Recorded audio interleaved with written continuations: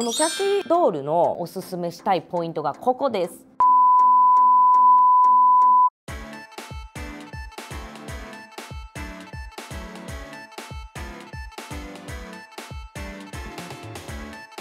皆さんこんにちは目元プロデューサーの柿内彩子です。今日もよろしくお願いいたします。今日はですねインスタの DM にご質問いただきました。4D アイブロウの私がおすすめするもののレビューをしていきたいと思います。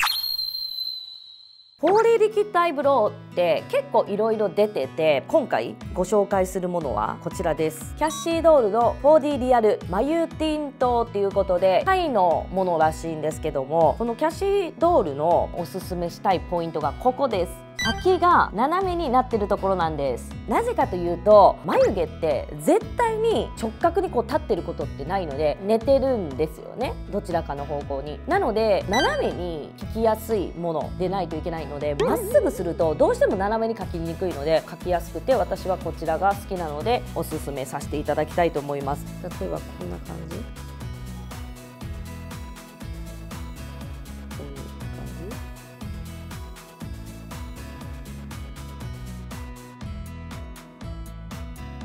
で眉頭がちょっとできました分かりますでしょうか。ちょっとない部分にこう足したりとか